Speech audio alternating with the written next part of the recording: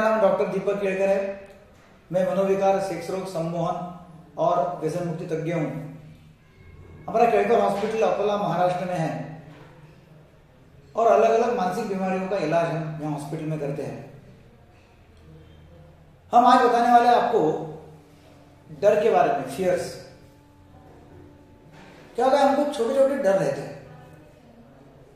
किसी को लिफ्ट में ऊपर जाने का डर किसको रास्ता पार करने का डर? किसको किसको बंद खुली का डर? कि बंद जगह में रह सकता नहीं। किसको ऊंचाई का डर? किसको कुछ छोटे डर रहते हैं कि समझो, रिंग बज गई फ़ोन की तो फ़ोन उठाऊं कि नहीं उठाऊं? उसका डर कि कुछ खबर मुझे मिल जाएगी, जो बुरी खबर होगी, उसका डर।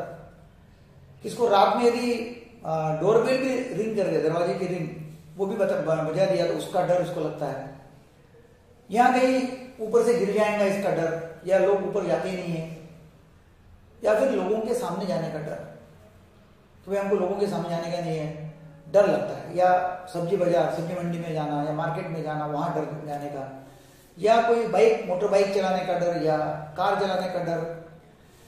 ये ऐसे कुछ छोटे छोटे डर रहते हैं कि वो हमको मालूम ही नहीं पड़ते कि हमारे आसपास में जितने लोग हैं, उनको ये डर है क्या? क्योंकि वो उनको कोई तकलीफ़ देती नहीं है। अच्छा ये डर रहना ज़रूरी है क्या? ज़रूरी है। वैसा देखा जाए तो। कुछ हद तक डर है, करके हम जीवित है। समझो, मैं हाईवे पे जा रहा हूँ, कार में हूँ, और मुझे यदि डर नहीं है, और मैं बीच में गाड़ी चलाकर रहूँगा, और सामने से कोई ट्रक आ रहा है, और मुझे कोई डर नहीं लग रहा है तो एक्सीडेंट हो जाएगा। डर के मारे मुझे गाड़ी बाजू लेनी पड़ेगी। तो डर तो चाहिए मतलब या कोई ऐसा गुंडा, कोई आदमी मेरे ऊपर आ रहा है, आम के ऊपर आ रहा है, या कोई गाली गलौज कर रहा है, मेरे पास में कोई हथियार नहीं है तो मुझे डरना पड़ेगा।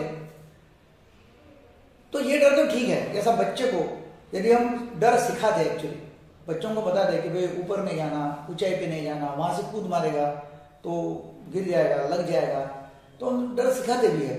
और वो डर बच्चों को स्वाभाविक रूप से मालूम भी होना चाहिए। जैसा आग है या तवा है सिगड़ी गैस के ऊपर तवा रखा हुआ है उसके ऊपर हाथ डालना है या मतलब कहीं अंगार में हाथ डाल रहा है तो उसको हम डर बताएँगे उसको डर रहेगा तो ही कुछ बच्चा करेगा नहीं उसमें कुछ। नहीं तो, तो हाथ जल जाएगा। तो बचपन से हमको डर सिखाया जाता है एक्चुअली और हम डरते रहते हैं। मगर कुछ लोगों को तो डर, फिर छोटा मोटा डर, ठीक है, मगर कुछ लोगों को इतना ज़्यादा डर हो जाता है कि उनका रोज का जीवन जीना भी मुश्किल हो जाता है। कुछ लोगों को मतलब ऐसा है कि नहीं, मैं ज़्यादा खाऊँगा तो मुझे डायबिटीज़ हो जाऊँगा, हो जाएगा। ठीक है, ऐसा डर ठीक है कि मतलब बहुत ज़्यादा खाऊँगा, ज़्यादा मीठा खाऊँगा तो डायबिटीज़ होगा, ठीक है। और अभी इसलिए मैं मीठा खाना नहीं, चलो ये भी अच्छा है। मगर डायबिटीज़ मुझे हो रहा है या डायबिटीज़ हो गया है, या डायबिटीज़ हो जाएगा, इसलिए डॉक्टर डॉक्टर जाना। हर डॉक्टर के पास में जाके ब्लड शुगर टेस्ट कर लेना कि शुगर बड़ी है क्या? या हार्ट अटैक मुझे आ गया है। हार्ट अटैक आ गया, मैं मर जाऊँगा मर जाऊँगा, इसलिए डॉक्टर टू डॉक्टर जाना। ऐसे कुछ कुछ पेशेंट हमारे पास में आते हैं कि वो रोज एक डॉक्टर दो डॉक्टर को विज़िट करते हैं, रोज कार्डियोग्राम निकालते हैं। उनको डर ये है कि अभी मेरा अटैक आ जाएगा, मुझे अटैक आ जाएगा तो मैं मर जाऊँगा। तो ऐसे काफ़ी सारे डर लोगों को रहते हैं। छोटा मोटा डर ठीक है फियर जिसको हम फियर बोलते हैं। कभी फेल होने का डर है। कि मैं फेल हो जाऊँगा। ठीक है फेल हो जाऊँगा ये डर है। तो हम उसका केयर लेंगे और देखेंगे कि कैसा मैं क्या करूँगी ताकि मैं फेल ना हो जाऊँ। मगर यदि डर ही नहीं रहा फेल होने का तो बच्चा पढ़ाई नहीं करे। मालूम है पढ़ाई मतलब कोई ज़रूरी नहीं है फेल ही नहीं होगा। तो डर हमको हद, कुछ हद तक ठीक है। और वो एक डर का मतलब ऐसा एक व्यक्तिमत्व भी हो सकता है कि वो डरावना व्यक्तिमत्व व्यक्तिमत्व चिंता करने वाला रहता है कि बहुत चिंता है उसको। या छोटी छोटी बात के ऊपर डर है। मतलब कुछ कुछ माँ ऐसी रहती है कि बच्चों को थोड़ा भी ऐसा बुखार आ गया तो उसको डर लगता है कि अभी इसका कुछ तो भी कम ज़्यादा हो जाएगा। और वो एकदम चिंतित हो जाती है, डर लगता है, डॉक्टर के पास लेके जाएगी। अभी मेरे पास में एक पेशेंट आई थी, उसका यही था कि उसको एक साल का बच्चा है और उसको इतना डर बढ़ गया कि भाई बच्चा, बच्चे को कुछ तो भी हो जाएगा। थोड़ा भी बच्चे ने मुँह हाँ कर दिया, थोड़ा भी ऐसा, अब मतलब बुखार भी नहीं है तो उसको हाथ लगा के देखेंगे। बोलेंगे हाँ बुखार है, चलो डॉक्टर के पास ले जाए इतना डर कि नहीं, कुछ तो भी हो जाएगा मर जाएँगे। थोड़ा भी बच्चे ने समझो, कम खाना खाया तो वो डर जाएँगे। नहीं, अभी बच्चों को कुछ तो भी हो जाएगा और मुझे डॉक्टर के पास लेके जाने का है। खुद के बारे में भी खुद खुद भी तोल मोल के खाना खाएँगी, खुद भी देखेंगे मतलब इतना सारा डर बैठा हुआ है कि कहीं बाहर आना नहीं, जाना नहीं, पूरा जीवन पैरालाइज हो जाता है। तो एक तरफ़ है, डर ऐसा है कि जो नॉर्मल डर है, वो यदि बढ़ते बढ़ते बढ़ते बढ़ते गया तो फिर वो फोबिया में कन्वर्ट हो जाता है। फोबिया जिसको अत्याधिक डर बोलते हैं ना, बहुत बहुत ही भय मतलब अति भय, बहुत ज़्यादा फोबिया कि जिसमें मतलब इतना डर होता है कि आदमी का काम करना, बाहर जाना, जीवन जीना भी मुश्किल होता है, ना कि उसका ही बाकी लोगों का। कुछ लोगों को सफ़र करने का डर होता है मतलब ट्रेन में, कार में, बाहर जाते नहीं तो साल साल, दो दो साल, तीन तीन साल वो कहीं आते नहीं, जाते नहीं, गाँव के गाँव में रहते हैं, ताकि उनको ऐसा लगता है कि नहीं, मैं बैठूँगा, बंद कार में बैठूँगा तो कुछ तो भी हो जाएगा या ट्रेन में जाऊँगा मैं, ट्रेन में कुछ तो भी हो जाएगा, या मुझे कुछ तो भी हो जाएगा और मैं कुछ तो भी हो गया तो मैं बीच में क्या करूँ? मैं मर जाऊँगा। मतलब ऐसा डर लोगों को रहता है। किस, किसको पानी का डर रहता है, वो पानी के पास में जाते नहीं है। तो इसमें अभी करना क्या है? सवाल ये आता है कि करना क्या तो करना ये है कि उसमें डिसेंसिटाइजेशन थेरेपी रहती है। डिसेंसिटाइज करना पड़ता है डर को। तो उसमें हिप्नोथेरेपी का अपहरण करते हैं। हिप्नोथेरेपी विजुअलाइजेशन डिसेंसिटाइजेशन काउंसलिंग उसको काउंसलिंग करते हैं साइकोथेरेपी देते। हैं और बहुत ज़्यादा यदि डर होता है, या बहुत ज़्यादा उसको अटैक आ जाता है डर का तो उसके लिए कुछ गोलियाँ हैं।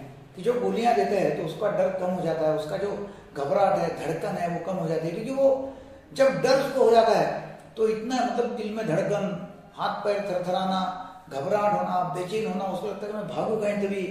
डॉक्टर के पास में जाऊँ, कुछ तो भी हो जाएगा तो उसको कुछ तो भी ऐसी गोलियाँ हैं। कि भाई वो दवाई लेते हैं तो वो दवाई से वो कुछ अच्छा हो सकता है। हालाँकि ऐसे काफ़ी सारे लोग हमारे आज के मतलब हमारे देश में इतने सारे काफ़ी सारे लोग हैं कि जिनको डर के मारे वो नॉन प्रोडक्टिव हो गए अनप्रोडक्टिव उत्पादकता ज़ीरो हो गई उनकी। काम नहीं कर सकते, लोगों के ऊपर वो बोझ है। उनका पूरा सौ टक्का इलाज हो सकता है। आपके संपर्क में, आपके परिचित वैसे काफ़ी सारे लोग होंगे कि जिनको आप वीडियो पहुँचा दे, बता दे कि नहीं इसका इलाज है, इसका इलाज दवाई से है। इसका इलाज हिप्नोथेरेपी से सम्मोहन उपचार से, इसका इसका इलाज साइकोथेरेपी से है तो लोग अच्छा हो जाएँगे और अपना जीवन अच्छा व्यतीत कर सकते हैं।